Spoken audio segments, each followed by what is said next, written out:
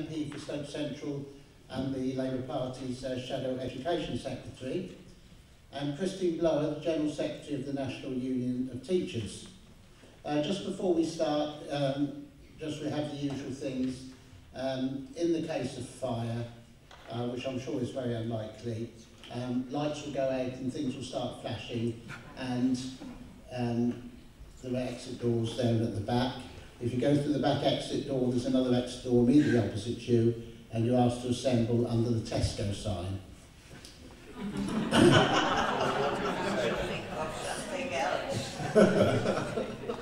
uh, hopefully we'll have plenty of time for questions and discussion. Um, but I am going to finish the meeting very promptly at 8.30 because both Christine and Tristram uh, have to catch trains back to London and we have to get into the station in time. Um, so without more ado, I'll start off by asking Tristram to speak for about 20-25 minutes, something like that. Okay. Great. Thank you very much. Um, and it's a great pleasure to be here this evening. This is an uh, excellent meeting. I want to thank Christine coming uh, from the NUT. I want to thank the North Staffs Trade Council. I want to uh, thank the Pensioners uh, Convention.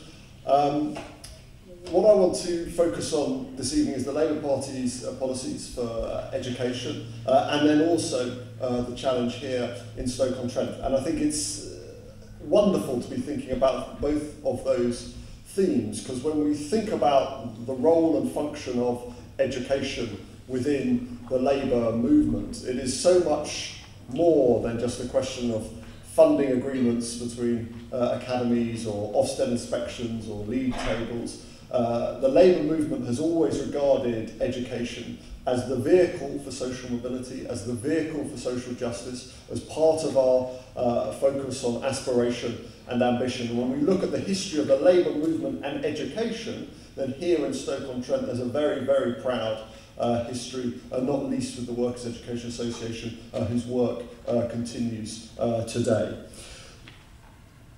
We should also, I think, remind ourselves of the achievement of the last Labour government um, in education. It's fashionable now to think that the Labour government, like the Romans, did nothing for us. Um, but when we think that the last Labour government built the first new hospital in Stoke-on-Trent for 140 years, it also rebuilt so many uh, of the schools in Stoke-on-Trent. And if you look at the new uh, facilities at Thistley Hough or the Discovery uh, Academy, and you think of the excellent learning facilities that young people uh, have there. That is also a testament to the achievements of the last Labour government. David Blunkett's focus on literacy uh, and numeracy, uh, his focus on raising standards right from the beginning uh, was a hugely powerful contribution here in Stoke-on-Trent as well. Then we look at the Sure Start centres, then we look at the trialling of the educational uh, maintenance allowance here in Stoke-on-Trent uh, to begin with. And we also look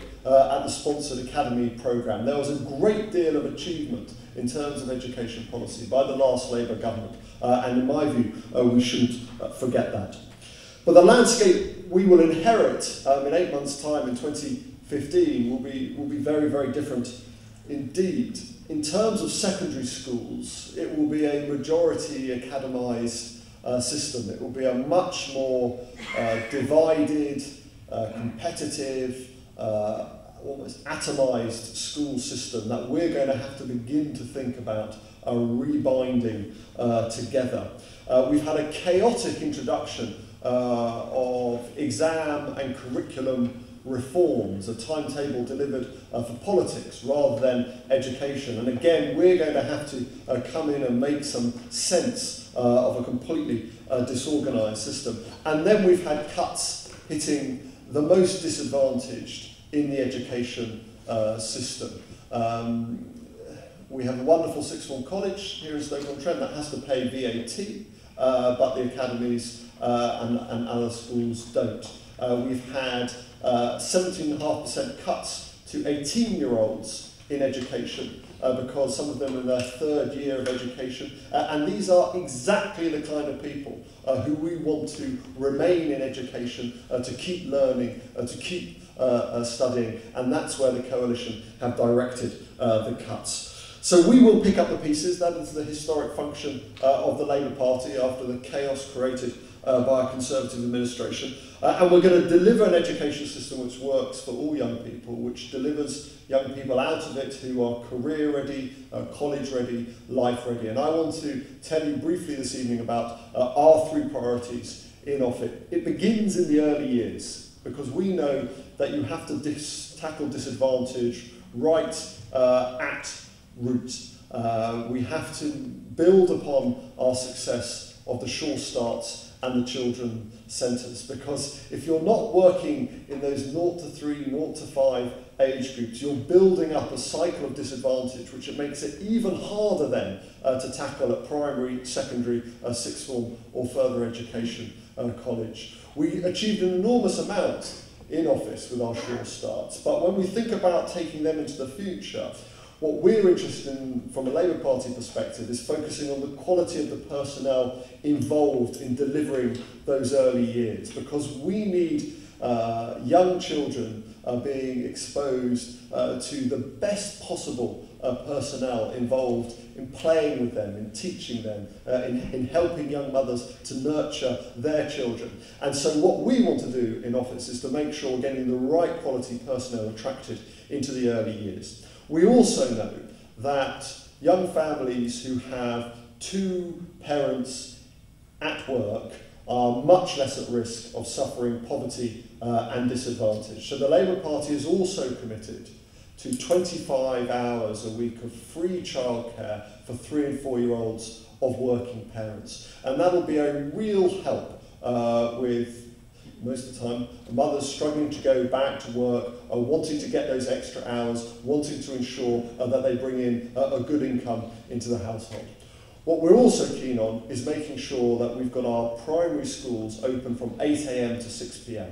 We want wraparound facilities at these schools. Uh, as I always say to teachers in the audience and to Christine, it doesn't mean teaching No, from 8am uh, to 6pm. Uh, this means having the breakfast clubs available there uh, early in the morning. It means having the after school uh, clubs so we can get young people the meals they need in, in the morning, but then we can have the sports clubs and the chess clubs and the coding clubs and the homework clubs uh, and all those other extracurricular activities if young people want to pursue them on school sites. When we've got money being taken out uh, of cities like Stoke-on-Trent, when we've got money being taken out uh, of our infrastructure, schools remain really important parts of the community uh, and we're often not using these facilities enough and it's the same with youth clubs and youth provision at a later stage uh, as it is um, in the early years.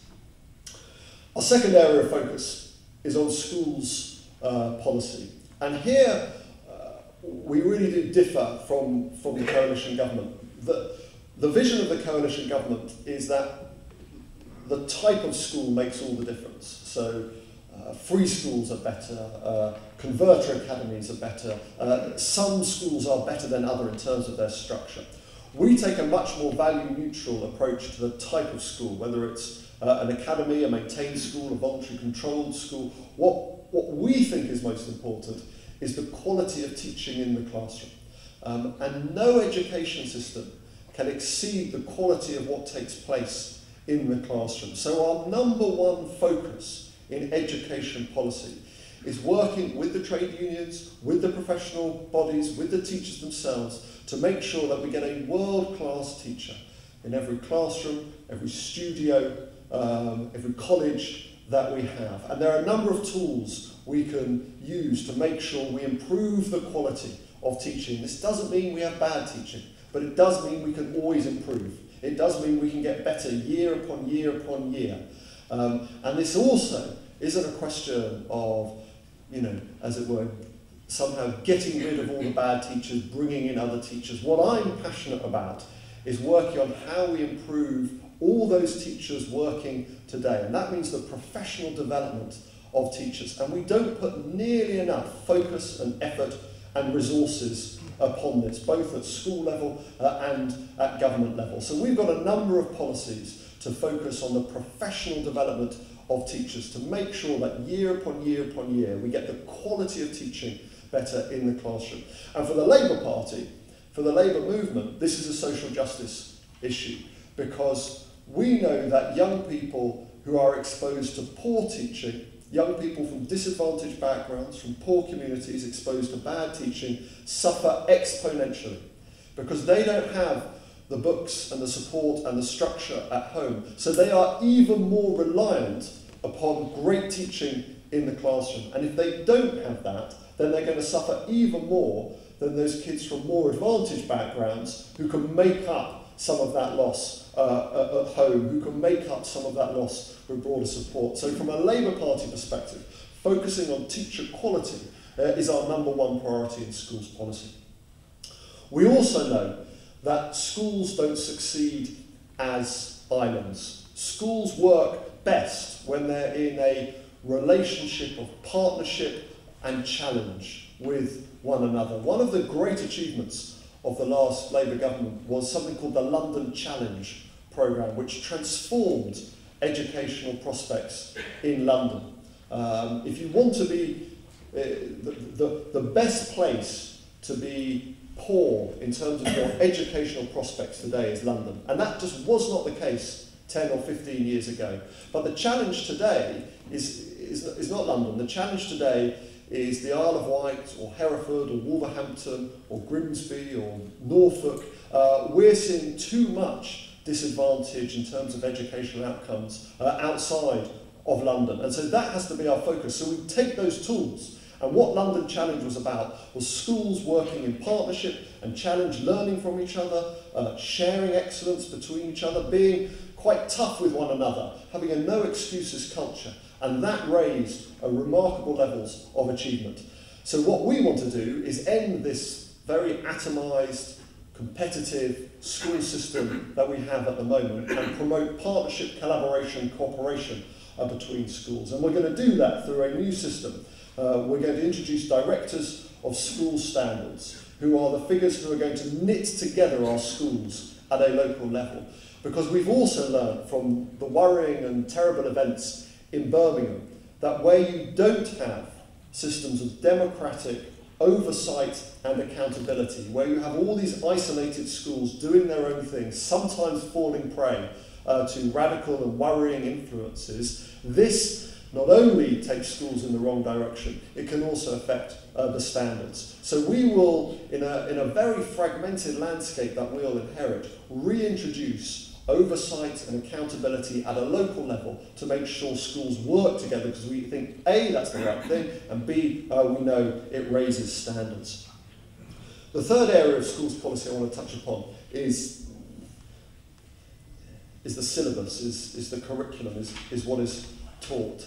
Um, we've seen in recent years uh, an ever more ferocious concentration um, on the exam factory model, on, on the churning out of young people from uh, school, without some of the broader attributes that we want young people to enjoy from school. We saw in some of those schools in Birmingham, which technically could do very well, but they weren't enjoying art or music or drama and we must make sure that in the drive for achievement, we also have these broader attributes, um, these broader courses in the curriculum.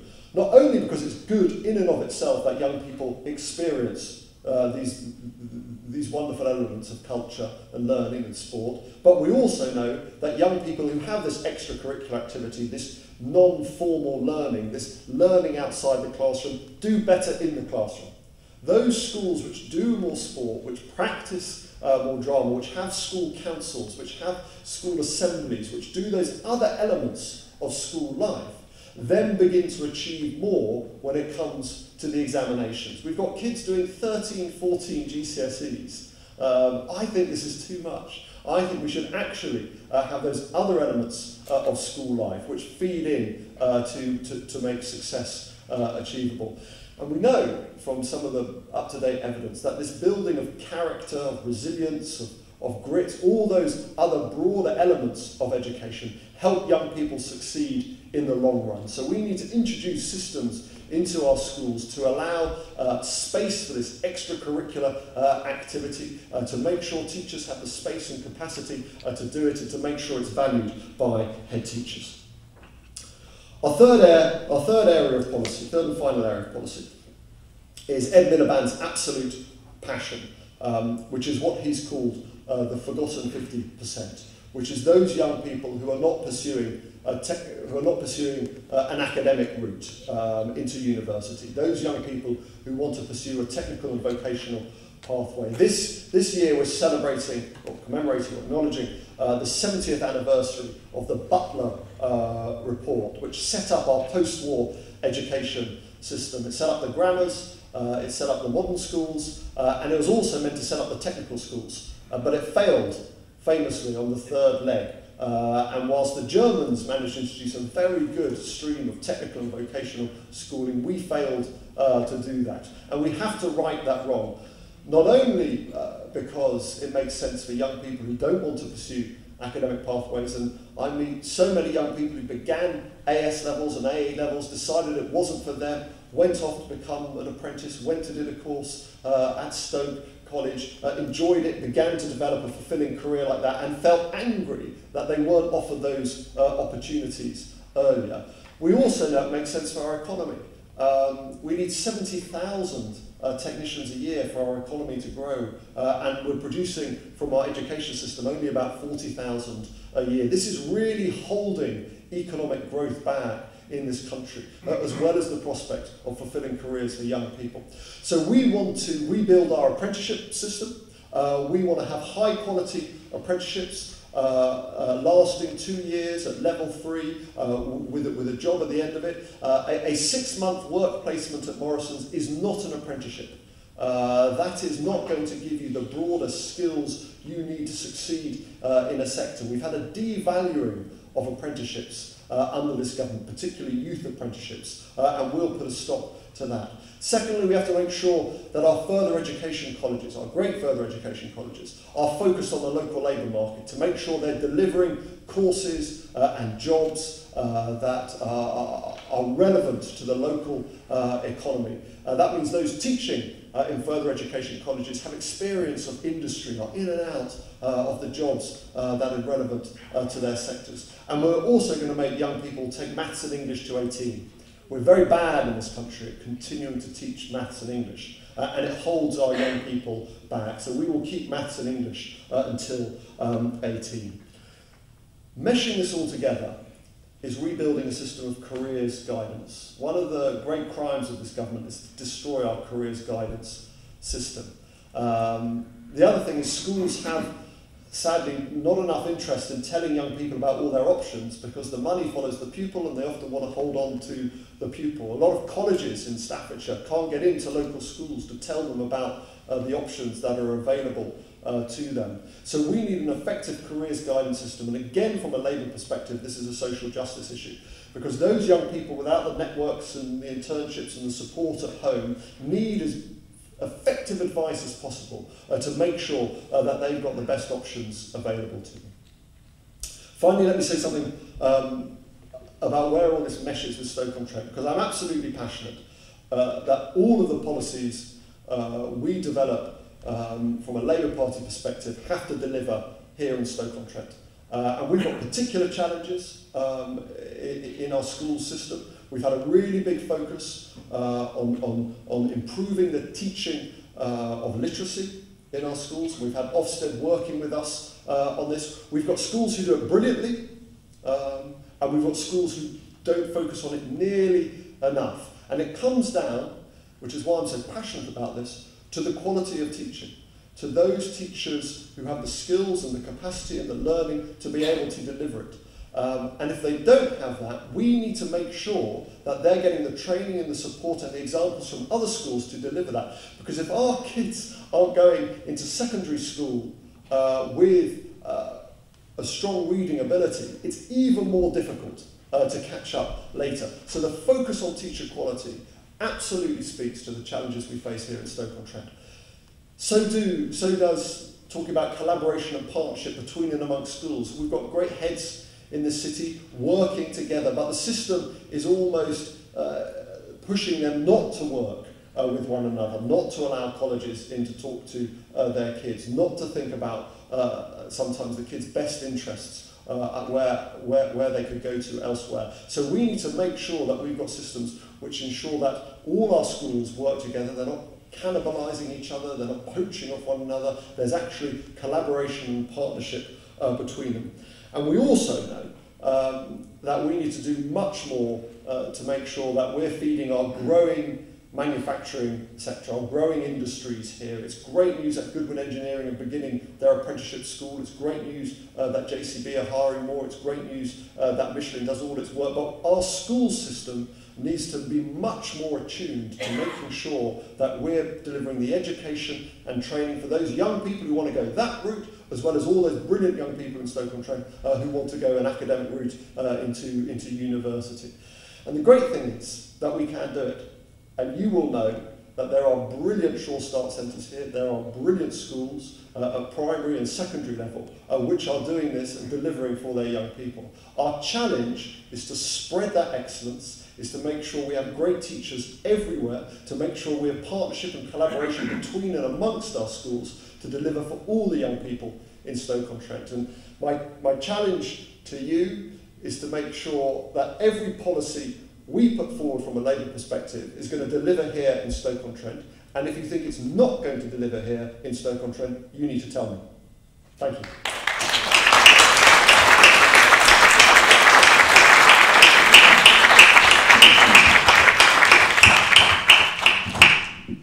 Um, thanks very much, Tristram, for setting out uh, the Labour Party's uh, vision for education. I think that perhaps at the beginning of the meeting I should have introduced myself, because maybe not all of you know who I am. My name's Jason Hill. I'm the president uh, currently of the North Staffordshire Trade Union Council and a retired teacher. Like Tristram, I'm a member of the Labour Party, and like Christine, I'm a member of the National Union of Teachers. So I'd now like to um, welcome Christine Blower. I think this is your first visit to Stoke Trent for many years, isn't it? Is, it is actually. Yeah? yeah it is indeed. So Christine Blower, please, warm up. Uh, colleagues, it is my first visit in many years, but I'm, uh, I'm very pleased to be here. And, and can I say that I don't always get the opportunity to spend a lot of time with politicians, but I started this morning in Portcullis House with Nicky Morgan, and I'm finishing this evening with Tristram Hunt, so there you are, you see. Uh, they, they really, really do want to listen to what the National Union of Teachers has got to say. Um, I, we're, we're, we're meeting this evening just ahead of the TUC, so just before I say, uh, I mean, partly in response to Tristram, but also what the National Union of Teachers thinks about education, I, I just want to say that next week will be the meeting of the Trade Union Congress where all trade unions will be getting together. And there will be significant things on our agenda. Uh, I think they all probably subsume into, uh, into pensions and pay and public services. And that kind of sounds like uh, vested interest or self-interest or whatever, but actually if you look at the agenda for the Trade Union Congress, What underlies that is uh, our deep-seated conviction that we need a better and fairer society. So, for example, after Congress on October the 18th, the TUC will be running a big, big demonstration uh, in London, uh, October the 18th, on the, on the premise that Britain needs a pay rise. So I am going to come on to say, to you know, talk about all of the things that, uh, that Tristram has said, but I think it's absolutely vital that what we hear from the Labour Party ahead of, uh, of the general election is that there is a real acknowledgement that although there may be a sense that the economy is turning around in some bits of society, there isn't a thoroughgoing sense that the economy is turning around everywhere. And I, I absolutely agree with everything that Tristram said uh, about the early years and everything that he said about the need to make sure that every child and young person has the very best opportunity of education that they can. But the fact is that the very best education system in the world can't eradicate the fact that we have children living in grinding poverty at the moment and it's really incumbent upon the Labour Party to be putting in challenges to make sure that, as Tristram says, two working parents is the best opportunity, you know, provides probably the best opportunity for a child to make sure that they have a good start. But it has to be two people working in proper jobs. It can't be two people working on zero hours contracts. I mean, something that's zero hours really shouldn't be given the name contract because, frankly, it isn't a contract, is it? It's bondage. You have to stay at home until somebody says you can come to work. So, uh, we, so in the education service, we are deeply concerned about the bedroom tax. I know the Labour Party was supporting uh, what the Lib Dems were doing today about the bedroom tax. We are deeply concerned about the very, very unequal society that we've got, and we absolutely agree that education is one of the ways that we can begin to move uh, young people out of poverty. Now, for a long time, we've been running a campaign that we've been calling Stand Up for Education, and we have now come to the point where we have produced uh, the NUT's Manifesto for Education under the same slogan of Stand Up for Education. I, I should say that we believe in the National Union of Teachers, and no one will uh, deter me from this belief, that the, the fact that we've been running the Stand Up for Education campaign, the fact that we've been talking about what parents wanted, the fact that we've been exposing some of the things that Michael Gove was doing, which were utterly terrible, helped in his demise. And I have to say that meeting Nicky Morgan this morning, although she's coming across slightly differently from Michael Gove, she didn't actually give us any hope that the policies were going to change, just that her presentation uh, might be a bit different. But nonetheless, we have to, uh, we have to give her the chance to see whether she really is going to do anything different. So, uh, in, in response to, uh, to what Tristram has said, in terms of the broad perspective of the way Labour Party policy looks like developing, there are obviously, we, we would obviously in the National Union of Teachers agree with uh, the broad sweep of those things. Tristram didn't say this, he talked about he talked about having the best quality people working in early years and in our schools. He didn't actually say, and they must be qualified teachers, but we've had this discussion before, and I know that the Labour Party uh, has, has said all along from the time when Michael Gove started talking about the fact that we can basically have anyone swanning in off the street to be a teacher, that actually that isn't, uh, that isn't what the Labour Party stands for. I hope too, though, that the Labour Party will be looking at how we actually train and educate our teachers. Because I have to say, the National Union of Teachers, we, we have got a problem with both Teach First and School Direct, uh, because we don't think that there is sufficient and a sufficient quality of training being offered to young people. Now, you may not be familiar with School Direct, but essentially uh, it seems to us in the National Union of Teachers that the idea is that you velcro somebody next to a teacher who's doing a halfway decent job and, uh, and somehow or other they're supposed to learn that that's how you are a teacher. Now, you know, I think anyone who knows anything about teaching knows that that is not how you learn to be a teacher. You learn to be a teacher by having, uh, obviously, obviously classroom experience and classroom practice, but also by being able to be in institutes of uh, of higher education so that you have the time to reflect and to think about pedagogical style, to think about child development and so on. So it's, uh, it's important to us that the Labour Party says that teachers should be qualified, but it's also important that, that we think about how those young people will be qualified. It's also critically important to us that, uh, that schools are the hub of the community. So no, you won't get any pushback from us about the idea of schools being open for longer times. Although, I have to say, there are some children for whom the prospect of being in school from 8 till 6 does not actually fill them with joy. Um, and, and actually a lot of doing other things outside of the school building can be just as useful and valuable and helpful. And if it were that the youth service or the play service were putting on things between 4 and 6, that would be, you know, possibly even a more attractive proposition. What we, what we absolutely uh, agree with Tristram about too is that this is not just though a matter of saying, and teachers will do this.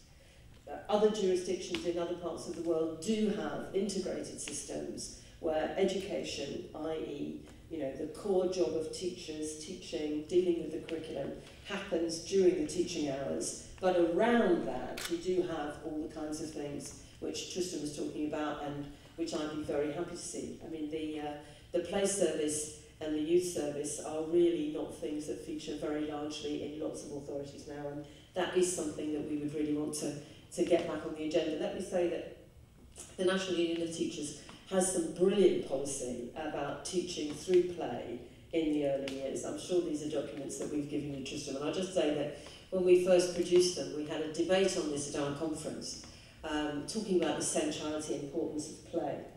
Uh, and a woman came to the rostrum to talk about teaching through play and the centrality of play. And she said, and I, I was thinking, you know, I teach in early years, but actually this is just as important in primary schools, and actually it's just as important in secondary schools. And then she said, and I thought, actually play is just as important really throughout your entire life. But when I Googled adult play, you wouldn't want to know what I found. So, so there are, there is, but there is a proper place for play and recreation, and that brings me to one of the things that I, I, I really hope that the Labour Party is going to be saying, which is that at, at the moment we have, um, we have some of the longest working hours of teachers anywhere uh, in this country. The, uh, the, there's been a 10% increase in the number of hours that teachers work under this current government. It had actually begun to go down a bit uh, under the previous Labour government. And the thing with that is that they're not productive, useful, helpful hours spent producing interesting lesson plans, engaging the students in a proper way. It's about the dead hand of Ofsted. So we do have to tackle the fact that the notion of accountability in our system has come to mean box ticking and the fear of Ofsted and doing things because of Ofsted. And, and actually, we all know that that isn't the best kind of education. I'm not saying for a second that teachers shouldn't be accountable. Of course they should. But in, uh, in some other jurisdictions, in particular in Finland, for example, which you know we all know and we tout about all the time, is the most successful jurisdiction uh, in Europe in terms of the OECD tests. What they have is a much better balance between trust, which is very high, and the actual business of accountability, which is very low. Now, I'd be very happy if we could just get them more into balance. And I think that some of the things that Tristram was talking about, in particular in talking about the London Challenge, I'm pleased that I was teaching in London uh, when that happened. I should when the London Challenge happened. I have to say, um, you know, when we first saw it, those of us who were branch secretaries of the NUT went, oh, I don't know, I don't know, I don't know if that looks all right, it won't look like a lot of work. But actually, as soon as we looked at it, we saw, well, no, this is actually what we want to do. This is what we want to do. We do want to collaborate across schools. Um, and of course, one of the problems that we've got at the moment is that academies and free schools don't really want to do that. Um, and, and even, as you say, Christian schools that are not academies and free schools don't necessarily want to do it because of the whole business about competitive uh, recruitment. So we want to see all schools back onto a level uh, a playing field and we want them to work together and we want them to be uh, effective, self-effective and, and self-improving. And we believe that can happen because as Tristan says London used to be the least well-performing region of the country and now it actually is uh, the best performing region of the country. Although I should just say we were always a region that did very well by children with special educational needs and children from poorer backgrounds. So, you know, perhaps what we didn't do is have our eye on the ball across uh, everything, but we, we have made some significant improvements in that direction. So, in our manifesto, we are saying that we do need to address the fractured system that, uh, that, that Tristan has talked about. Now, you know, you, uh, I'm, a, I'm a teachers union trade unionist, you'd expect me to say this. One of the other things that we think we need to address is that uh, this current government has removed the national pay scale for teachers. Now, we think that this is a problem because we, we know, don't we, that there are some areas of, uh, of England, I'm only talking about England and Wales because that's where we organise, where salaries are, uh, are more depressed than others. And actually we think that if you don't have a national system of paying teachers, there will be, there may potentially be difficulties in recruiting teachers to uh, lower uh, areas of salary. Now, I very much hope that that won't be the case, but actually we think there's a fairness about, uh, about having a, a pay scale that goes uh, across the whole um, system. And incidentally, although I speak very, uh, very fondly of Finland, one of the things that is interesting is that they don't have, one of the things that has been very good in a feature of, uh, of education, of the education pay arrangements in this country, is that they don't actually pay early years qualified teachers as well as they pay primary teachers as well as they pay secondary teachers. So don't take a leaf out of that book, please, because actually we believe that the job of teaching is the job of teaching, and very many elements of it, uh, you know, some elements of it are more difficult in some phases, and some elements are more difficult in, in other phases. But actually, what we need is a coherence to that. Uh, and then, of course, we absolutely need to address the school places crisis. The fact is that this, this government has wasted an inordinate amount of money on its, uh, on its vanity project of free schools. And it's true that some free schools have opened up in places where there was a need for new school places, but equally very many of them haven't. And what that does is it wastes public money and it unsettles the existing provision. So we would like to see the end of the free schools uh, arrangements. I, I hear what um, says about it's not about what the name is on the board outside the school, it's about what you do inside the school. And that, you know, I can go along with that to some extent, but it does have to be that schools have a kind of coherence about the way they're governed and the way they relate to their local community and their local authority. Uh, and one of the things that we, we genuinely believe, and it's really interesting actually, because we're joined in this um, by the previous chair of the Local Government Association, who was actually a Tory. He says, by giving the power to create schools back to councils, governments could ensure places for children from the ages of 4 to 18 can be delivered according to local demand in line with the local needs uh, of parents and their children. And I, I have to say that although we're, we're looking at what the Labour Party is saying about the Director of School Services, school standards, we, we do think that there is a proper role for the local authority and we would like to see the local authority back having the responsibility uh, to commission schools. We obviously, uh, we obviously think that education shouldn't be run for profit, so there I agree exactly with Tristram. Uh, Nicky Morgan, I asked Nicky Morgan this very question this morning, She said, well, there appears to be a consensus that education shouldn't be run for profit. I'm not trying to unsettle that. But if people want to say things to me, uh, you know, I'm very happy to read them. Now, it seems to me that that's, that's a bit more weaselly than we heard from Michael Gove, even, because actually one of his, one of his last outings uh, as Secretary of State for Education, when he, uh, he clearly didn't know that his demise was coming, which is very interesting, but anyway, uh, on one of his last outings, he did actually say that he had ruled out the idea of schools for profit. Um, and I, you know, it's very interesting that Nicky Morgan uh, is appearing to reopen that. And we're, we're very pleased that there was a robust response to that. Because frankly, I mean, if you think about it, it's just theft, really, isn't it? You know, I mean, public money goes into the system to run it. Your money, my money, Tristram's money, everybody's money goes in to run the system. And if what we then have is some private corporation making a profit out of that, then that's just stealing public money. It's not the right thing to do, and, uh, and we're very pleased that the um, that the Labour Party has set its face against that. The, the TUC produced a report earlier this year called Education Not for Sale, And it's very interesting that even though in theory we haven't got, well in practice we haven't got schools that can actually directly make a profit, listen to this, between May 2010 and December 2013, the DFE paid 76.7 million pounds to 14 private companies providing legal, accountancy, management, consultancy and property services support to academies and free schools.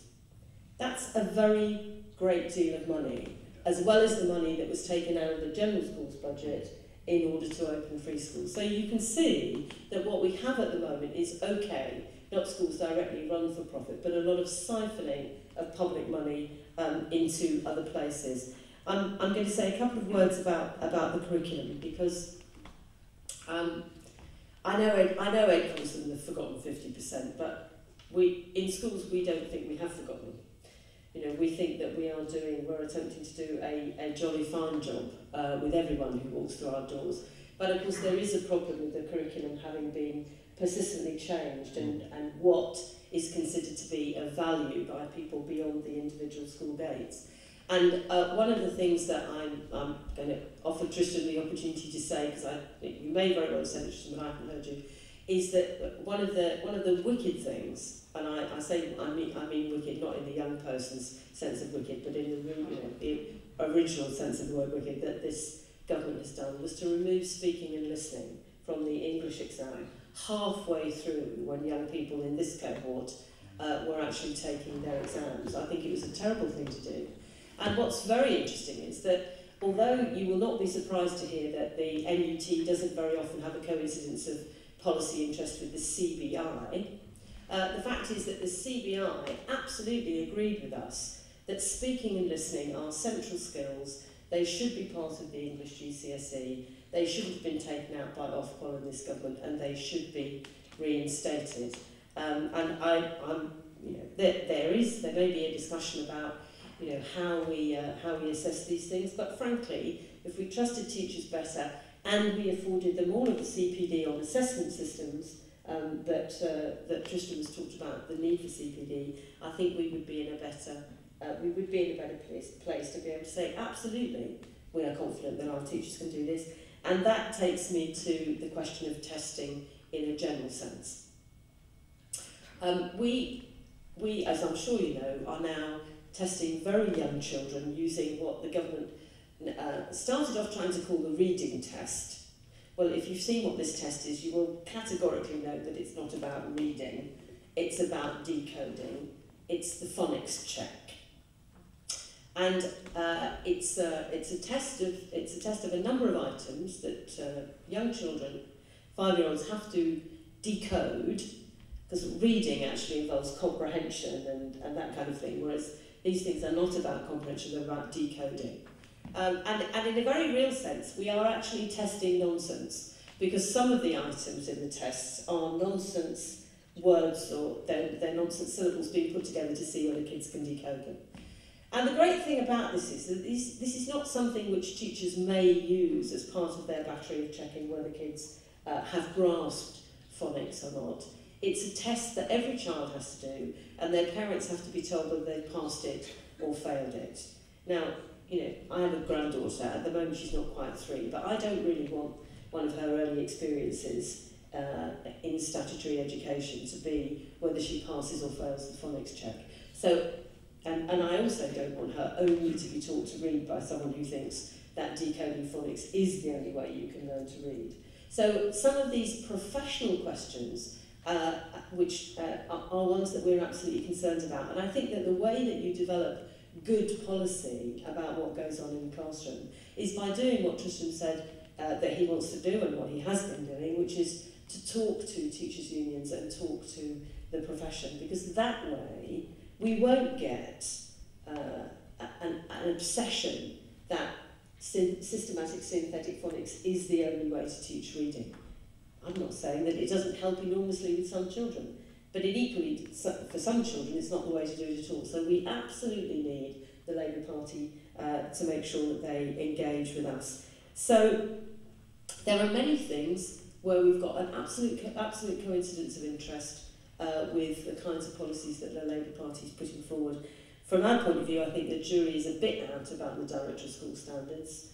you know, we, I mean, our, our impression is that what you'd be well off having is a director of education, or what we might, what we used to fondly call a chief education officer in every local authority. And we do think that this kind of notion of recreating a middle tier or a different tier, when you've actually got local government, and I, you know, I know it's variable, you know. I live in Hammersmith and Fulham, uh, for eight years, it was a it was a rabid Tory authority, and they frankly did terrible things. And it wasn't, I might say, on the Labour Party's target list for winning. But actually, because we ran a campaign, the National Union of Teachers ran a campaign to keep open a hugely successful working class primary school, one of the most improved primary schools in the country, Uh, because we, won, we ran a campaign to keep that school open, because we worked with parents and said, you have an absolute right to keep this school, a school that has a meadow in it, uh, which is right next to quite a lot of tower blocks where children have no gardens, but they come to Sulivan School and they have places to play and grow flowers and so on. And actually, because we worked with the community, the, the upshot of that was that actually, I think it was that, was also some work that we'd done on the hospital campaign and some other planning issues, but mostly still, that council changed hands because what they could see was that actually their council wasn't wanting to help and support them. Mm. But of course, you know, so of course, you know, if we hadn't had the election at the right time, the local authority would have done the wrong thing. But it was a very good piece of political activity, not aimed at changing the council, but aimed at supporting the community locally. Um, so it's really important to us that the community is involved in schools and that they actually have a voice for being able to say these are the kinds of things that we want to do. Now, you, know, you can't have complete chaos, obviously you do need to have some kind of system, but we really do need, we, we really do need to be engaging with communities in schools. So that's why uh, we are absolutely prepared to agree that, that, that school must be the hub of the community. And finally, um, it's no good governments just saying, we've got the best generation of teachers we've ever had. They actually have to say, we want to trust teachers and we want to make teaching a sufficiently attractive job to bring people in. It does mean that we have to be able to work with other services. I agree with Tristram, we have to, we have to rebuild the, uh, the career service, we have to be able to work with, the, work with the play service, we have to rebuild what we used to have at local authority level of all of those additional services, in particular with children, for children with special educational needs, because just giving individual schools a bit of money so that they can buy in someone to help with a child who may have hearing loss or may have uh, autistic spectrum difficulties or whatever doesn't work. You need a coherent approach to that which runs across and through and within uh, the society. So, you know, we are very much hoping that our Stand Up for Education manifesto will get very wide coverage, that people will talk about it, they'll want to talk about it with local politicians, but also that our members will want to talk about it with parents and governors and teachers and young people themselves to say that we genuinely believe that there is a better way to run the education service. And underlying that is that we believe there's also a better way to run society, which is fairer, which is more transparent, and which is genuinely concerned to make sure that every single person is able to fulfil the maximum that they possibly can. Thank you.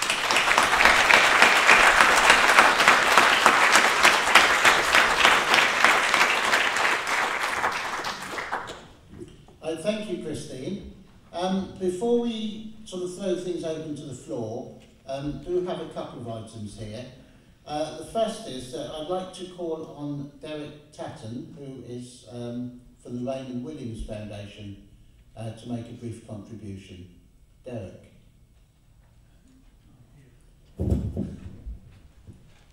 Um, there's a mic for you there. Yes.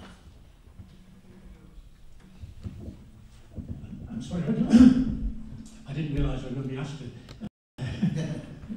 say this. I, I would just like to draw the attention of uh, everybody here to a leaflet that's out in the foyer about the Raymond Williams uh, Foundation, uh, which is an, a charity uh, dedicated to assisting adults uh, gain uh, further education uh, throughout their whole life. And um, uh, that leaflet essentially uh, tells you uh, everything you might need to know about the Raymond Williams Foundation. So I might like to use this opportunity to actually put a question to uh, Christian and Tristan, uh, because um, it's related, in fact, to the Raymond Williams Foundation. Raymond Williams, incidentally, for, uh, don't feel guilty if you don't recognise the name, uh, he was a writer, Uh, he died 25 years ago, but his books still live on, and indeed he is widely respected across the continents of the world. 50 articles have been written in Mandarin Chinese about Raymond Williams in the last 10 years, for example. Um, so he is an interesting uh, writer who will, whose views will endure. He was a strong socialist, incidentally. Um, but my question now, the National Institute of Adult and Continuing Education has issued a general election manifesto. And part four of that manifesto says, quote, more, there should be more emphasis on informal, non-formal, as well as formal learning. And I want to make a comment on that, and my question follows through on what's happened to adult education in this country and the NIACE's proposal I've just quoted. Adult education in North Staffordshire was exceptionally strong, as Tristram has referred to this briefly in his, uh, in his speech. Tawney taught his first uh, class in Longton in 1909, and following that, um, adult education in North Staffordshire and the potteries uh, was uh, remarkably robust and innovative. For example, just behind where our speakers are sitting, there's still a building, but before uh, its current use it was called Cartwright House. And Cartwright House was an adult education centre for the, run with the WEA, but uh, providing an extraordinary wide range of activities for at least 40 years uh, in Stoke-on-Trent. But crucially, that centre was linked to a network of other city centres, adult education feeding through to the Wedgwood Memorial College in Barlaston, where, as a residential college, skills and training were taught, but along with education for its own sake, education for social purpose, trade union education, and indeed pension courses. Um, most of that education has now gone, of course. And I think we should acknowledge that it has gone, and that's a loss. Um, however, all's not lost, because there are continuities, and Tristram referred to the WEA in this area continuing. Uh, but informal learning, especially in this region, is quite lively. The U3A, book groups, philosophy in pubs, sally bars, Stoke skeptics in pubs, arts and literary festivals, pensioner convention lectures, and so on and so on. All of that is important education. So the general question I wish to put is, how can this informal learning be best supported and connected again to adult education?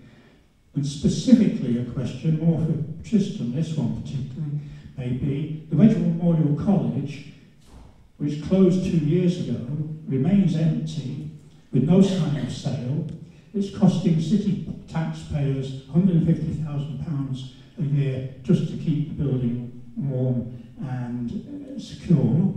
Uh, if Stoke-on-Trent City Council agreed now to reopen a suitably modified and adapted college, couldn't that be a really positive springboard next year to integrate the informal with the formal learning in North Staffordshire connecting back to that great tradition of adult education.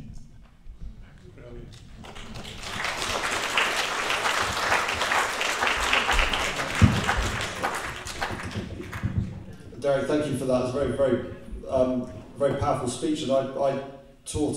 Um, I didn't teach. I, I, I took a couple of. I gave a couple of lectures at the the Wedgwood College and uh, before um, before it closed. Um, and this also gives me the opportunity to, to pay tribute to, to the work of Claire White uh, at, at the WEA um, in Burslem, which I think is enormously important. Look, it would be it, it would be great um, to have the college reopened, and we, you know, fought on this uh, some some years ago.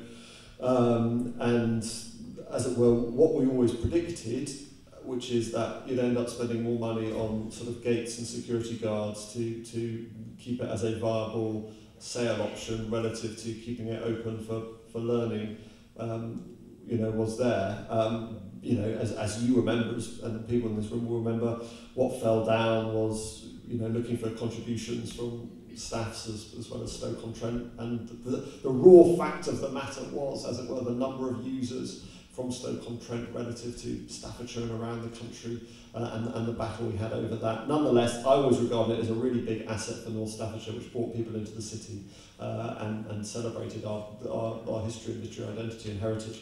Um, so in, in the absence of that, you're absolutely right about the, the informal learning and the non-formal learning and everything that's going on here. We had a very, very successful inaugural Stoke Literary Festival uh, this year. We're going to try and do it again next year, but really build on the local networks and make sure we're plugged into the reading groups and the library groups, um, as well as the local authors. Christine, you'll be you'll be pleased to know that teachers go free to the Stoke Literary Festival.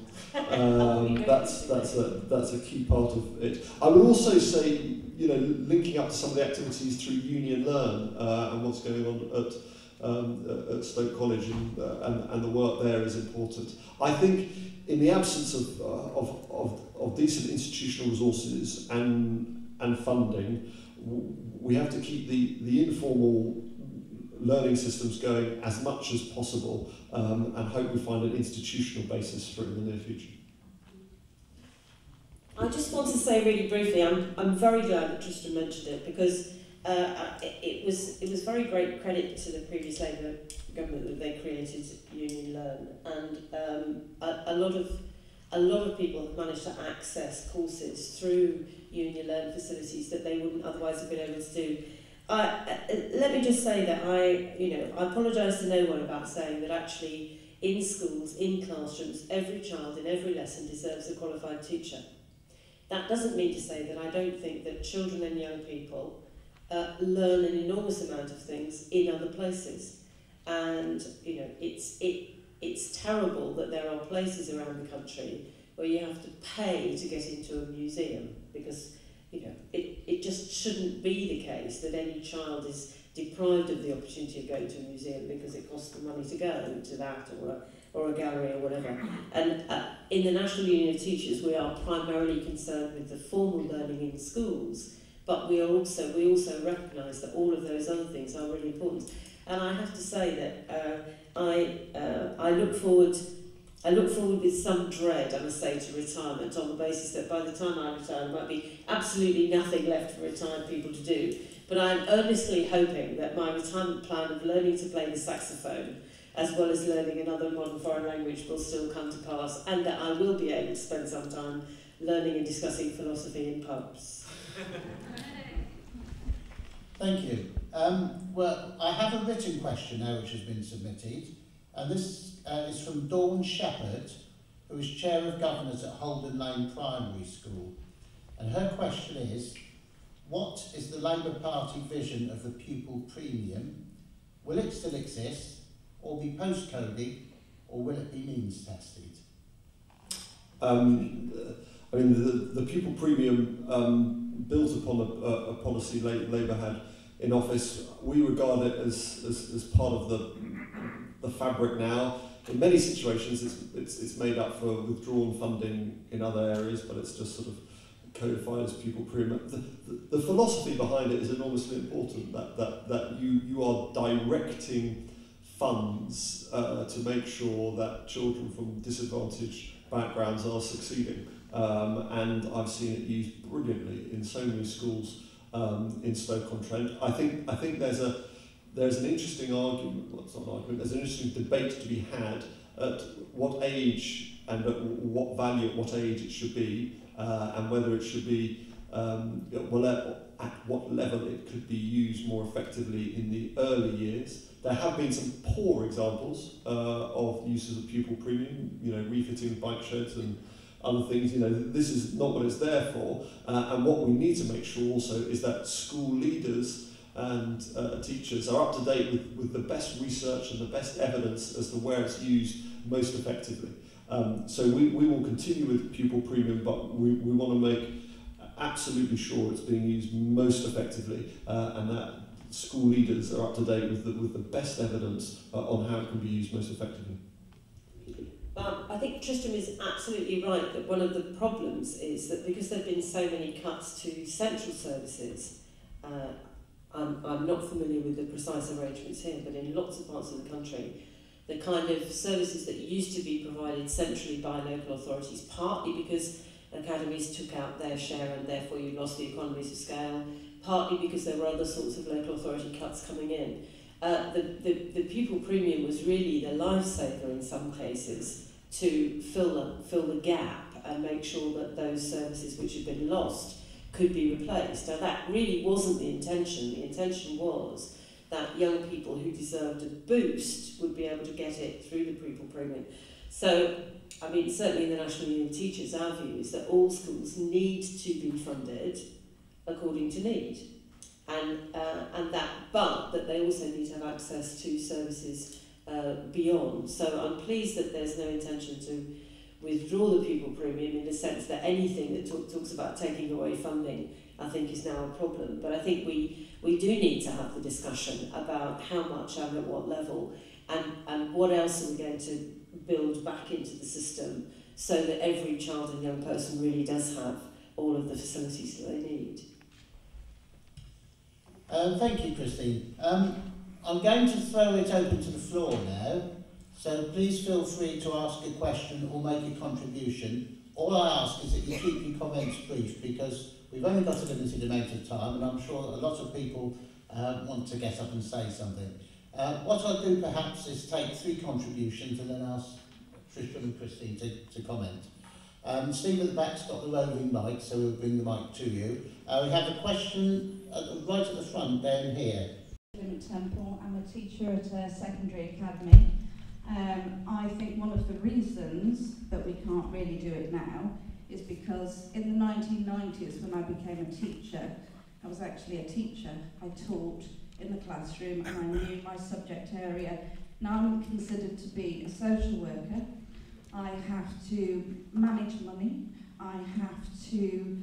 I'm sure loads of things like this used to happen before, but now the emphasis is so much on the other things outside of my curriculum area that I cannot no longer focus so much on what I'm teaching. Um, and not only that, um, when Ofsted come in, if I cannot identify the pupil premium child in the corner, and I don't know that they're pupil premium, I've got 363 children that I teach every single week. I have to teach 25 lessons. I have to mark 363 books and we have a very strict policy. I have to mark in green pen, red pen, all sorts of things. I write more than the children do. And if I don't, I'm scrutinised and I'm vilified.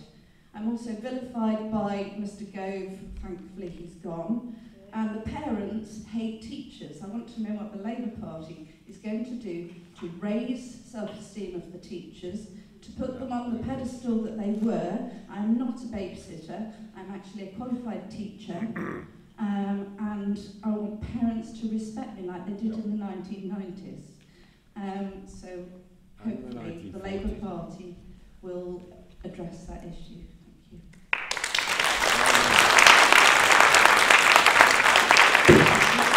Um, Stephen, fourth, fourth row back. Trevor. Yeah.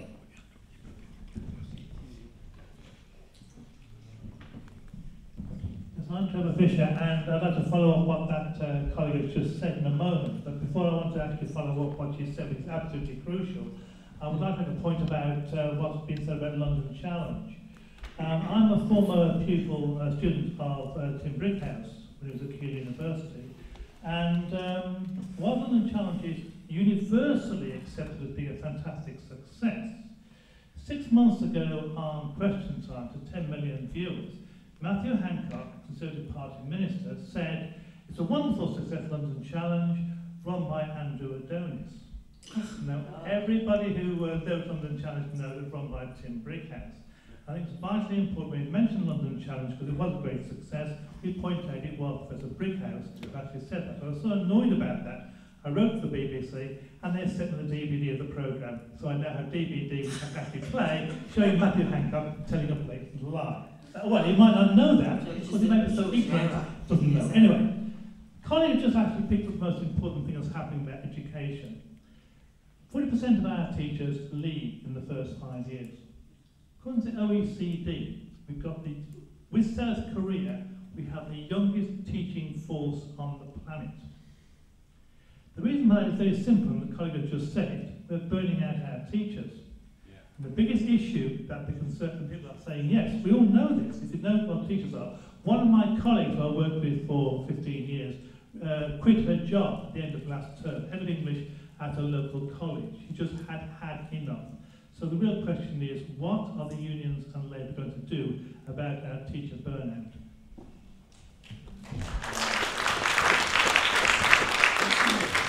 Um, thank you, Christine. Would you like to come in? Yeah, absolutely. Um, I, I agree with some uh, some of what John had to say. I have to say that uh, we, in the National Union Teachers, are not terribly keen on the 11 plus.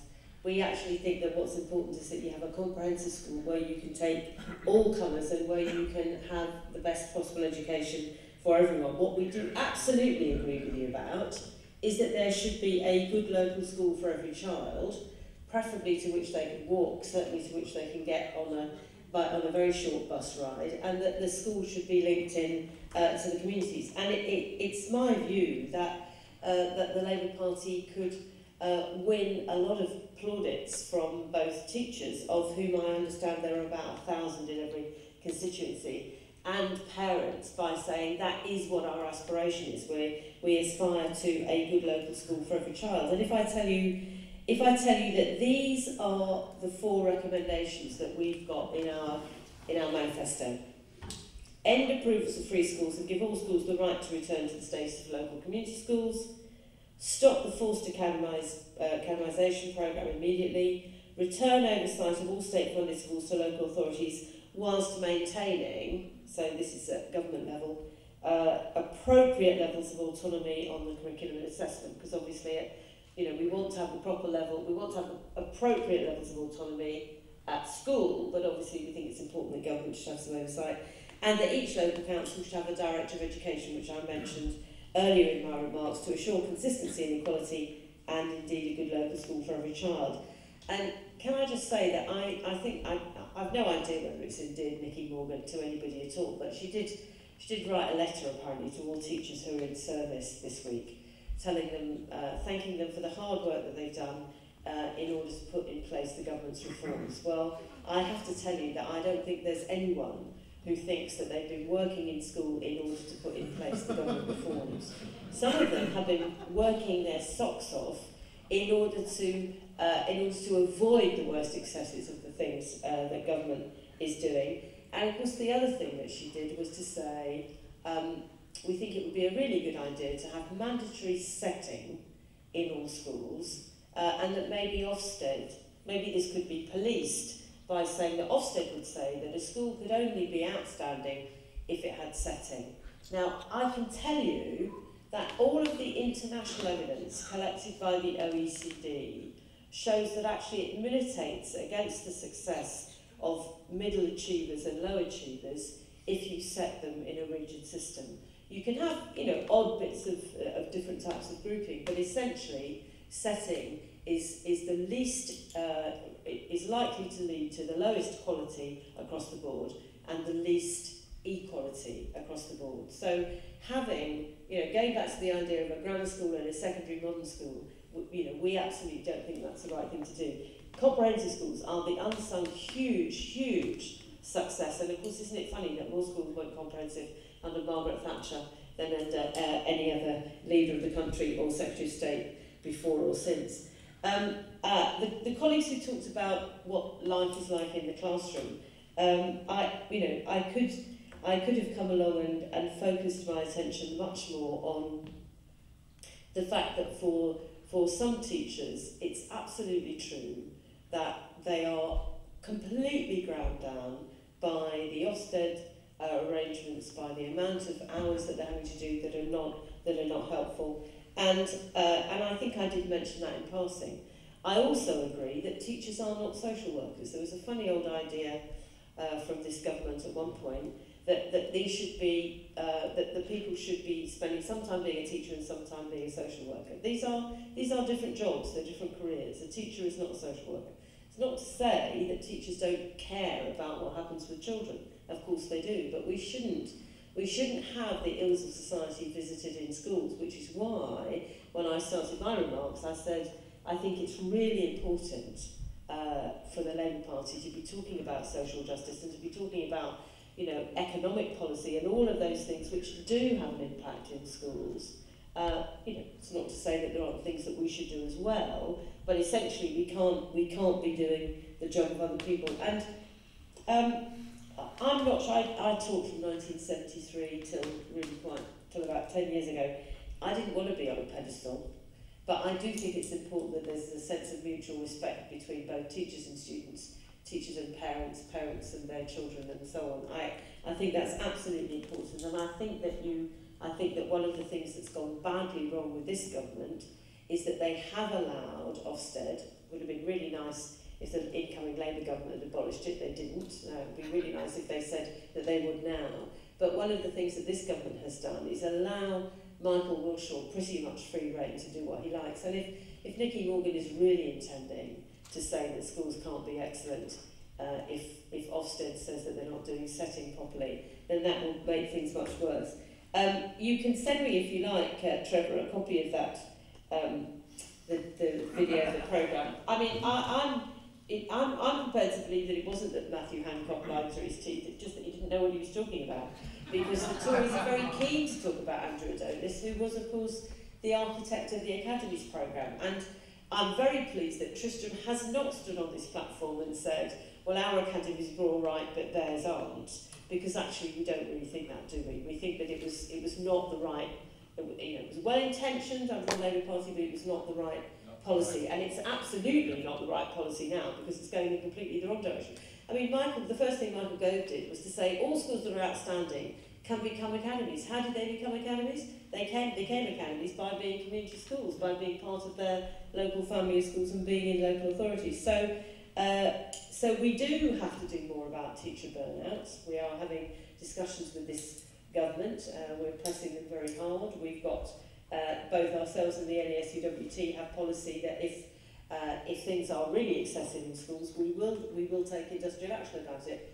We don't want to do that. We want to improve things by negotiation, but we will uh, if if people's lives are being made a misery. And it's absolutely true that Ofsted itself says that two in five, only two in five teachers who start are there at the end of, of five years. That that cannot possibly be a, a way to an, an education service. And so it was quite interesting at the end of, uh, of the summer that we'd been making a big, a very big deal about how many hours teachers were working. There were a number of reports that came out at the end of the summer.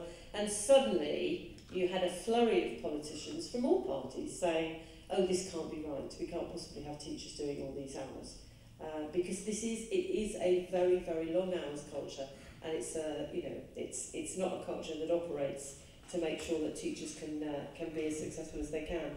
So uh, both at individual school level but also at national level, the unions are all working to make sure that we really do improve both the, the workload for teachers but also the general circumstances in which they work. And I, I mean, you know, one of the things that we do in the National Union of Teachers is that we we uh, we survey um, parents. We don't do it, we ask YouGov to do it. So, um, one of the things that they that, that parents said was that 82% of them said that absolutely schools should have qualified teachers. Now, when you think about the fact that, that, that you don't get much over 80 in anything these days, that's very good. They also, uh, over 80 people, over 80% thought that that local authorities should be the people, it should be the should have the locus for in new schools.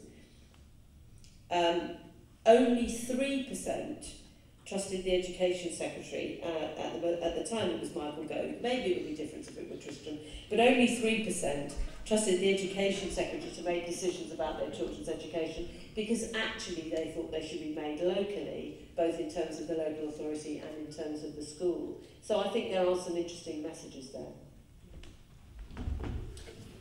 I'll aim for 6%. um, briefly so we can um, hear more colleagues. Um, the, the issue on teacher uh, burnout, I mean, it's a, it's a massive waste of money, resources, and talent. And I think when, when, when we look at teachers, you know, you're always going to get um, a certain number of teachers who begin a teacher training course and then not complete it, it's not for them, when they sort of face the classroom, they realise this is not where they want to be. Um, and some of the good elements of School Direct are to make sure uh, that, that that there is that, that practice-based element. I think when I, when I talk to, to new teachers and you talk to academics about this, the, the amount which is thrown at newly qualified teachers um, is, is sometimes almost the same which is hitting teachers who've been there five, seven, ten years. And in I think there's an issue about the, the, the amount which is expected of newly qualified teachers relative to other professions in terms of the, the entry. So how can we get a, a, a career structure uh, and, a, and, and a teaching structure which allows a, a, a sort of a gentler entry uh, into, the, um, into the profession? There's a, there are a lot of conversations going on at the moment about teacher training, We agree very much with what Christine said about the role of higher education institutions. You know, Keele, we produced lots of great uh, teachers out of Keele, and one of the one of the merits of that was also people coming from across the UK going to Keele and then teaching in Stoke schools. So actually we, we got you know the, the mix and the churn uh, of people coming to North Staffordshire because of Keele. We, we want to see higher education institutions involved in teacher training and not simply uh, have just some of the limits we, we also see with School Direct. Um, I absolutely agree that, that um, uh, you know, teachers should not be uh, social workers. We, we have to be, and this is where I agree with Michael Wilshaw, he's very strong about the roles and responsibilities of parents um, and the roles and duties of parents um, and the, the, the functions of a family. The, the challenge, also to point to Christine's point, is, is where you have dysfunctional families, where you have such levels uh, of poverty and, and chaotic background, actually school is a structure and because you are professionals and because you care for the learning outcomes uh, of those involved, you, do get involved. What, what we need to make sure, and I think we, you know, we haven't really touched on teaching assistants uh, this evening, is to make sure that those more broadly involved in, in, in the school system, those in the school support staff network, have the training and the roles and the functions, which allows you as a teacher to focus on your prime responsibility uh, in terms of, uh, of teaching. I think where it becomes challenging and, and where the, the, the debate is, we also want teachers because of their stature and status and sort of attractiveness to students to be involved in those extracurricular activities which I've you know seen for myself at St Peter's um, and elsewhere and you know, I think the challenge we're going to face in government is if we want more of these extracurricular activities and non-formal learning, which um, is so important in school, whether it's drama or art or musical sports, and we want teachers to be involved with that, how do we also make sure we're not overloading them uh, and they continue to focus on their primary uh, curriculum responsibilities? Um, John, I, I mean, uh, I am proud of um, the Labour Party sponsored academy uh, program. Um, I think there were certain situations uh, where you had very underperforming um, uh, schools, often in a monopoly um, status, uh, and actually you had sponsored academies come in with an ethos and a vision and a determination which really reformed the life chances of young people in high poverty um, areas who had been let down uh, by pre-existing systems. Um, and if the Labour Party is about anything, it's about making sure that we're delivering aspiration and ambition uh, for children from very disadvantaged backgrounds. And many academies did that, and many academies do that in, uh, in Stoke-on-Trent today. But we've swung too far uh, the other way, and education policy you know, moves in these uh, uh, directions. What what Gove did was just throw everything up into the air with his Converter Academy program, so everyone became an academy without the direction or the focus or the ethos. Uh, and now we have a far too atomised system, and our, and our responsibility in office is to rebuild elements of that local oversight and accountability and place planning, and also, you know, understand that when schools partner and collaborate and challenge one another in an arena and ethos uh, of trust and professionalism, you raise results. Um, autonomy is important, um, and that's what the Sponsored Academy uh, program was about. But autonomy only really succeeds when it's in a um, relationship, when schools are in a relationship with other schools. And weirdly, under the Academy program at the moment, which has lost its way, um, you've got lots of academy chains um, who are not responsible and responsive to local communities and who are very restrictive about the freedoms um, um, that schools are allowed to, um, to practice. Um, I won't name names, but I'm still waiting, three months on, to response to a second letter to the Chair of Trustees uh, and the Director of an Academy chain uh, here in Stoke-on-Trent about a local issue. Um, and if they're not responding to members of Parliament raising issues on behalf of their constituents, uh, that doesn't seem to me uh, a very proper relationship with their communities.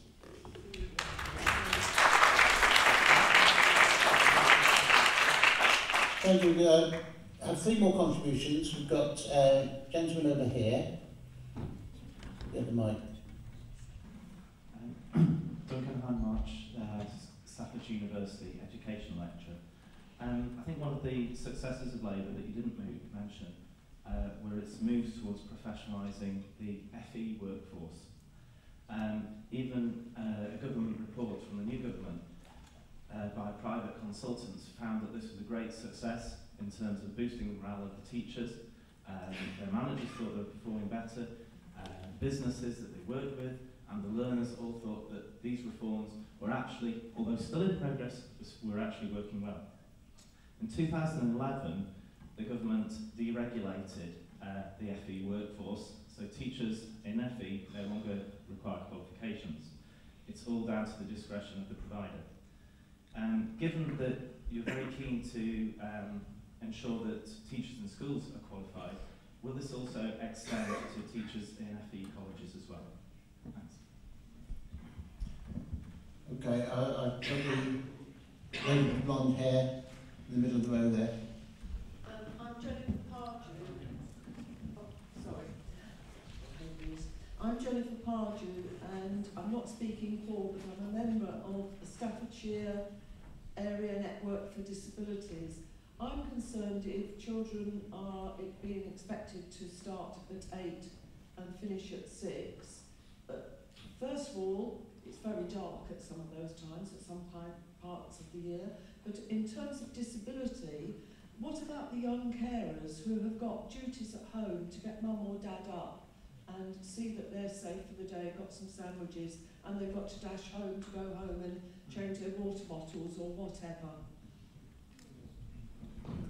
Thank you. And um, the gentleman right at the back with the yellow.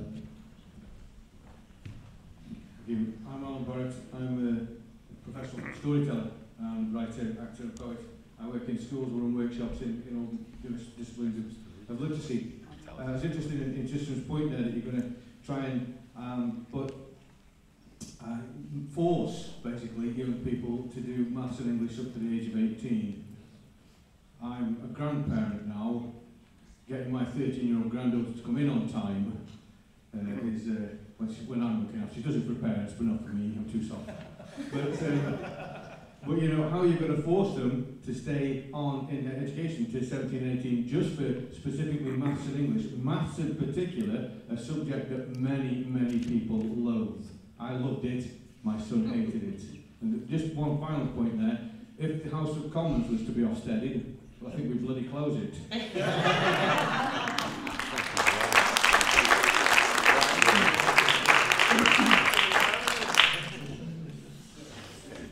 I think we'd go for requires improvement rather than uh, the full uh, category. Um, uh, Alan, I think on we, we're now going to have a rising participation age until 18. So young people will legally have to be in education or training uh, to the age of 18. Um, and that's, that's only right. Um, as part of their training um, or education, we think they maths and English should be a part of that. Because, um, and it's not about them redoing their GCSEs over and over again. This is about functional, um, practical learning, which is going to help them get jobs um, and get better incomes and get better jobs in the future. We're very, very poor on this, and that's why those young people um, who only get, um, who, who, fail a level two, who fail the GCSE, their educational prospects are markedly limited and their chances of getting it later are really limited. Um, and so, I mean, we'll, you know, England is the, is the outrider on this. Compared to uh, um, our, our continental uh, partners, uh, they are demanding this um, to the age of 18. Um, and so you're, you're right, we've got to get it right. It can't, you, you know, it has to be something that people see the use of. We're also going to have a challenge in making sure we've got the, uh, the teachers and lecturers to, to deliver it. But in the long run, in terms of the employment prospects, so they don't have so many you know, young people that needs, they're not in employment, education or training, it's an important tool. Um, and, and, but, but you're right, Alan, we, we have to make it, uh, we have to make it work, we have to make it seem uh, um, appropriately. Um, Joan, on, on, on, on disability, the, the, um, We're not saying uh, young people will need to be at school 8 a.m. Uh, to 6 p.m. We're saying that the school should be open. So if uh, uh, parents want to drop their, their kids off there or if they want them uh, to stay an extra hour afterwards in some club or facility, uh, then, then that should be available. That wouldn't be the formal learning part, it's just that the school as a facility, as a site, uh, could be open uh, if people uh, want to use it. Just as now you have breakfast clubs in, um, in, in many schools, which some parents um, and young people make use of and others don't, and that's absolutely fine. What we want to make sure is that the option is there uh, for them to take that. It, it certainly wouldn't be um, um, uh, obligatory. Um, Duncan, on, on, on, on, on the further education um, workforce, you're absolutely right that that is our, um, our direction, where we want to head. It, it becomes, I think, slightly more complicated um, in, in some parts um, of FE uh, because of the, you know, what is being taught and the nature of what is being taught and uh, the, uh, the, the, much of the practical application of, of what's being delivered there. We would expect all of those delivering uh, courses within FE to um, uh, to become qualified teachers. They're teaching young people. Um, they will learn how to be better teachers as qualified teachers. They will um, um, be, be more effective in their jobs. Um, that's absolutely, um, and, and particularly if they're going to be teaching 14, 15 year olds now as, as, as further education colleges uh, are allowed. So that is absolutely, as we politicians terribly say, our direction of travel. Uh, but there are, th there are some sort of specificities about the FE model which make it less clear cut. Uh, but we think it is valuable and effective and useful. Um, and uh, we would expect it to be without the necessarily same degree of mandatoriness. And I don't think that's a word, mandatoriness. Or without the same, the same level of punishment. Can I, uh, just, just briefly, I mean, uh, to reinforce uh, what Tristram said, The, the idea that the school is the hub of the community, it's a building that should be used in a multiplicity of ways, the National Union Teacher supports that. But I, I agree with Tristram absolutely. We're not talking about uh, children sitting in classes and being taught from 8 o'clock in the morning till 6 o'clock in the evening. We're not talking about that. We're not talking about it for several reasons. One is it's a ridiculously long day and children, even children who haven't got other types of responsibilities, would be ludicrously tired. And I don't want teachers to be doing it. I don't think that's the right thing for them to be doing. But I do think it's reasonable that if we have uh, a building that has resources, that it's, that it's okay for other things to be going on there between you know, eight and nine and then you know, half past three and six. Um, I, I think the jury's out about this whole maths and English to 18 question. Um, the thing is, there, there are fabulously interesting things that you can be doing post GCSE, which are not, you know, starting embarking on A-level English or maths, and they are other really interesting things. The question is how permissive the curriculum 16 to, you know, going on 19 will be, how, how much resource will be able to do it, and how many teachers we will have to make sure that we can do it. I mean, you know, those of you who know teachers or are teachers or talk to people about the way English is going in schools at the moment, we're, we're very concerned in the National Union of Teachers about you know, the, the dead hand of, of the curriculum, the fact that children don't actually read whole books. I think, I think that once they get to, I think they should be doing it all through, but certainly once they get to 16, to be able to just read a whole lot of really interesting books, and then, yeah, do some work on them if necessary. I mean, You know, did you notice that uh, before his demise, Michael Gove started to say, we don't really think that children in this country should be reading um, uh, To Kill a Mockingbird, for example, one of the most successfully taught books at GCSE, because it's full of social justice and it's really interesting. Now, it would be a thing that might very well be a book that post-16s would want to read and discuss and you know, we would want to link what they're doing post-16, if they are going to be doing and maths, with a whole lot of other life skills and other kinds of soft skills we would want to be promoting, you know, what in the jargon is called oracy or what we call speaking and listening, as part of keeping both uh, English and maths on the curriculum. But we do have to resource it, we do have to make sure there's a proper dialogue about what the content of that is. And it can't just be yet another test, yet another set of hoops that the kids and the teachers have to jump through. And, and I think, uh, let me just say, I think that, that everybody who is teaching people should go through a process of learning how it is that you teach. Yes. So I, I do think that there should be qualified teacher status for everyone who's doing teaching. Thank you. Um, we need to finish in about 10 minutes or so because Christine and Tristram do have to get trains back to London. So can you make your remarks uh, very brief, please? I've got gentlemen over there. Thank you, Jason. My name is John Beach, former Labour Party member. Uh, one of the questions and one of the issues, why has Labour Party jumped into bed with academies when they were staunchly opposed to grant maintain schools? There is virtually no difference just to change your name. The major, major issue I want to raise is there has been no major education review since 1858, 156 years ago.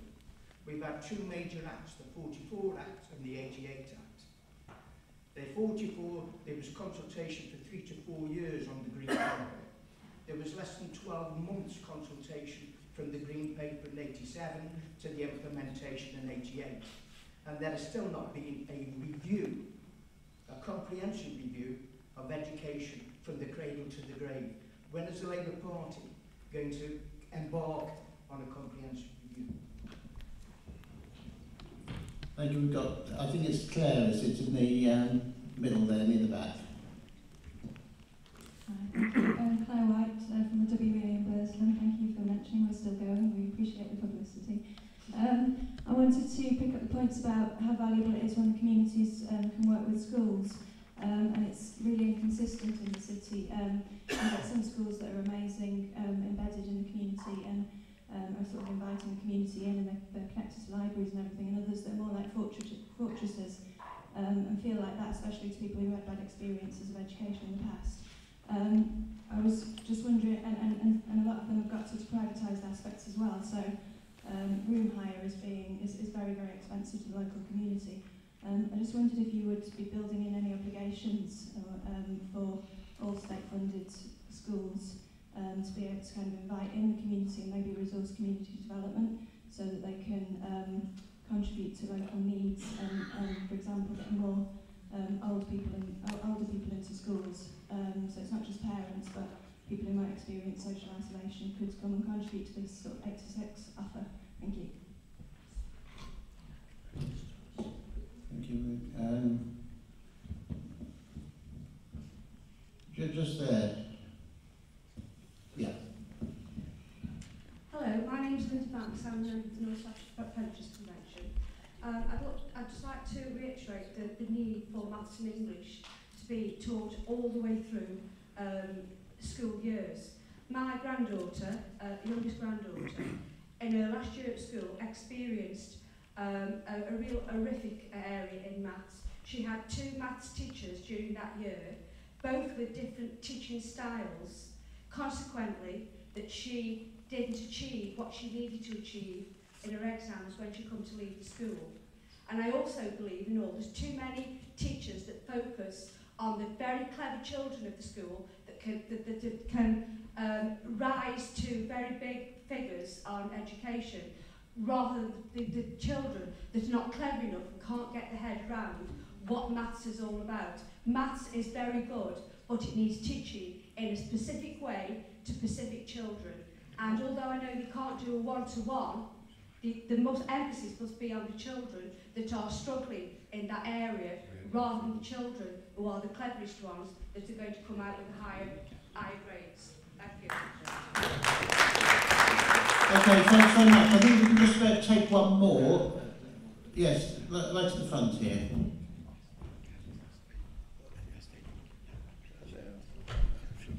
Uh, my name's Jackie Barfoot. I'm from the People's Assembly and also uh, a supporter of disabled people against cuts.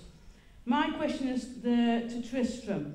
Um, if uh, education is going to be extended to 18-year-olds on Monday for maths and English, how is the system going to cope with disabled uh, teenagers with mental health problems, Asperger's, dyscalculia and dyslexia because there isn't the amount of proper trained teachers in learning disabilities and mental health to cope with that situation. Okay, thank you. Um, I'm going to ask Christine to respond first and to sum up because um, we have to finish shortly and then ask questions. So Christine. Okay, let me just say that I think that I think that I I covered in my remarks earlier the fact that there there is an issue about English and Maths to 18. We've got to make sure we've got the resources, we've got the staff, we've got the curriculum to make it worthwhile and uh, and meaningful. Um, I'll focus a little bit on Claire's question. Uh, I, I think that for the most part, schools do want to work with communities, but schools, and you heard this from a couple of the contributors earlier, are under, are under ludicrous amounts of pressure. They're under ludicrous amounts of pressure from Ofsted, and they're under ludicrous amounts of pressure from league tables. And the upshot of that is that they do all of the things that are measured. You know, they're measured in terms of, you know, whether kids are going up a level or, or getting a GCSE or whatever. And they find less time than they would want to find for doing these other things. So I, I think that we have to find a different way of schools both linking with their communities and being accountable. and we have to say that what we're interested in is developing well-rounded young people rather than just schools being exam factories. I mean, it's interesting, isn't it, that Anthony Seldon, who runs whatever school it is, the Westminster, Wellington, Wellington College, mm. You know, he's, he's working with the most privileged sections of society. And he is saying to us, you know, it's wrong that schools are exam factories. Well, it's very easy if you come from the most privileged section of society to be able to say that. But I'm still pleased that he says it.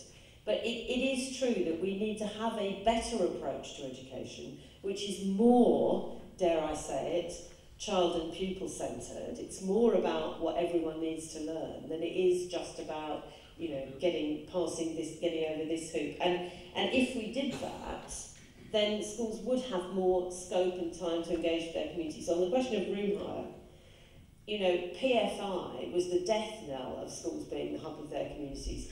In some cases, schools can't even afford themselves to hire their rooms because of the mm. way they're ludicrously tied into PFI deals. I mean, you know, if there was ever a question of forgiving debt, then it seems to me forgiving PFI debt would be a, a very good thing to do. And finally, just I, I, I think that the notion that schools should should be the place where there is intergenerational solidarity is absolutely critical because we know that there are plenty of parents who don't have the advantage of seeing their grandparents, sorry, children who don't see their grandparents often enough, and some older folk who don't perhaps see their, their grandchildren often enough. I think it's a really good and important thing for schools to be doing. But we have to have a system that says we want schools to be doing all of these things. We have to therefore stop doing some of the things that we're doing, and we have to not have the uh, the oppression uh, of, of of Ofsted bearing down on people. And uh, so, yeah, we will make sure that uh, that we are paying attention to all of our all of the children that we have bring into school, whether they have disabilities or no disabilities, and that they really are given the best opportunities.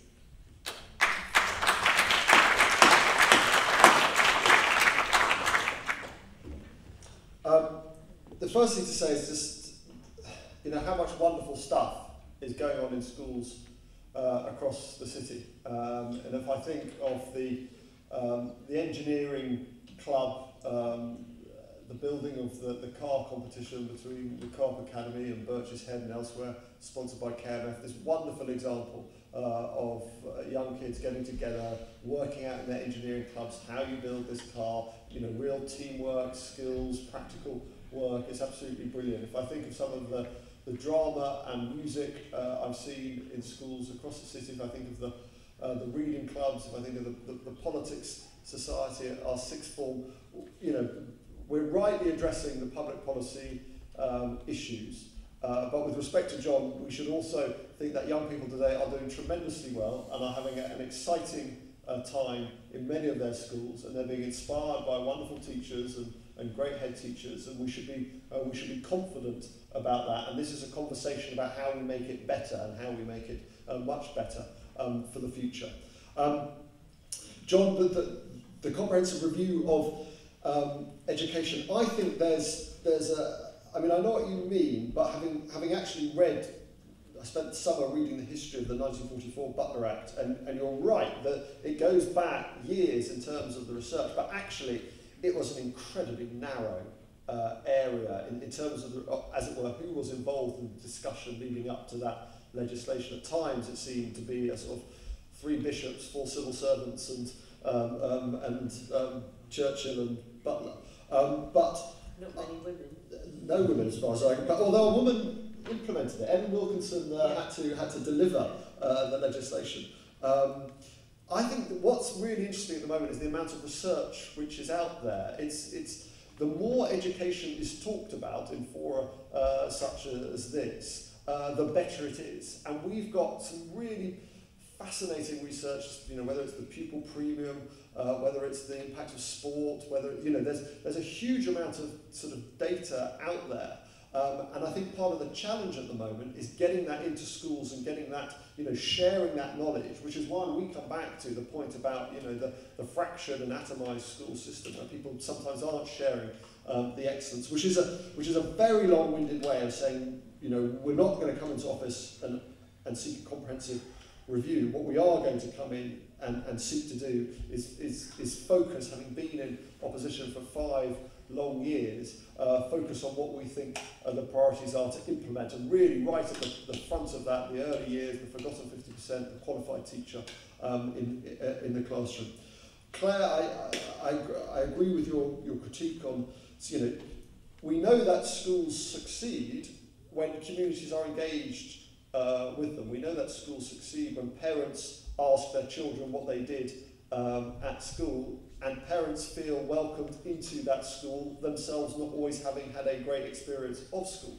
Um, and I think, you know, certainly some of the, the pioneering schools in Stoke-on-Trent, actually a lot of work is going on in adult education for parents of children so that they feel confident about supporting their kids' uh, learning. So schools need to be open uh, to the community, but they also need to look beyond it. They need to look out, and they need to be challenged, and they need to, you know, um, be told, um, you know, where things aren't falling down, where things are falling down, where excellence is, where, where they're not achieving excellence. So it's it's that balance, and and, and the great heads um, and the great uh, school management managed to do uh, uh, both. The PFI, as, as Christine said, is uh, disastrous. The good news is that thanks to some devious work we're doing, Uh, we're getting more and more schools out of their PFI contracts uh, locally um, because uh, some of them are absolutely horrendous. Um, Lynn, on, on the, the teaching maths, that, you know, I'm sorry to hear about that experience. Um, when I go and sit in classes, you, and this is why I'm always in awe of, of teachers, the best teachers will know the mix of their class uh, will know the, the talented students in that particular subject, will know those who need uh, more help, but will also know where those children who aren't saying anything but also need assistance are because they've seen in the workbooks that it's not happening. And, and they manage that. And, and it's always really upsetting to hear of it when it, when it falls uh, through the cracks. And what's important, I think, is that as, as, as grandparents and, and as parents, you have voice and can go into the school and have a conversation about it's not happening. I think one of the things I'm interested in pursuing is we have a lot of data and information in our school system which goes up to head teachers, to Ofsted, to all sorts of systems. I don't think, and I say this as a, a parent as well, uh, that there at times is enough information going out uh, to parents um, as to what's going on uh, with their child. You get, you know, yes and no on, you know, phonics. You get, you know, your your your end of year sort of data, but actually, uh, in terms of how your child um, is doing, um, it's it's often lost amidst all the minute information which is going up the academy chain or Ofsted or um, or, or, or elsewhere. Um, the Jackie, I think I think you're right about um, the, the, the challenge um, facing teaching those with disabilities. We, we will, I mean, we have a rise in participation age to 17 now. It's going to go uh, to 18, um, and the system needs to deal fairly uh, and appropriately with with all learners. Um, and we have to make sure from a teacher training point of view um, that, that, there, that there's capacity for that, which goes back to the, the point we were making earlier, that an ever narrower teacher training system on the school direct model, which doesn't include all these other demands that, that, that, that uh, are required of, uh, of teachers uh, sometimes um, um, uh, inhibits their, their ability to be great teachers for, for all learners. But I want to, uh, I want to end by thanking you all uh, for coming here this evening. I want to um, thank those of you who are teachers, those of you who are teaching assistants, those of you who are governors in particular. I want to thank governors. We need more governors in the city, more people willing to act um, as governors. Uh, and I want to thank those of you. The academies are getting rid of them. we want people involved in academies and non-academies. We want people involved in all school uh, types. Um, and I want to thank you as parents and grandparents and carers um, as well, because we do we have more work to do uh, in this city on education attainment. The, the, the great historic irony, in a sense, of, of Stoke-on-Trent is this is a city known around the world for some of the greatest skills in the world. It produced things of the most extraordinary beauty, which are renowned throughout the world. But this is a city also, like Hull, uh, like Liverpool, which because we had an industrial structure, which meant young people at school didn't need formal qualifications to have a long career in employment, um, often that culture of formal education and learning wasn't there. But we now need it more than ever for our young people to get the jobs of the future. So this is a, a big challenge, a generational challenge, and I think head teachers and teachers are stepping up to it at the moment, and we have to do more to support them. Thank you.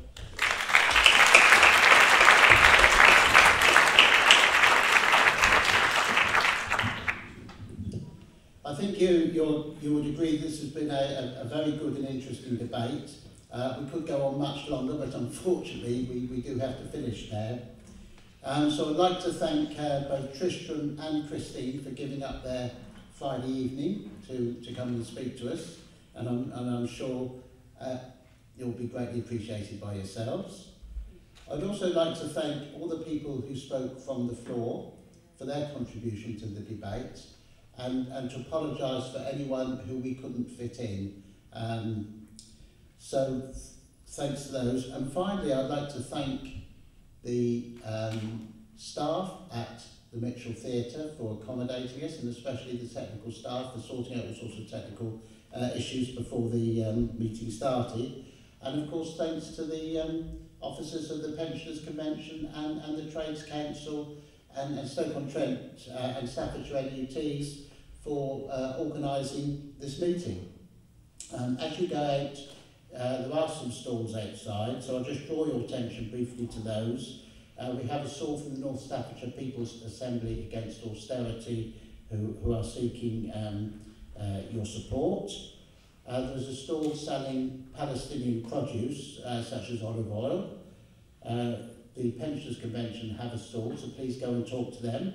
And finally, National Union of Teachers have a stall. So if you want to know more about the Stand Up for Education um, campaign, please go and talk to them. So thanks, thanks to you all for coming, thanks to everybody, and, and thanks again to our two speakers. Thank you.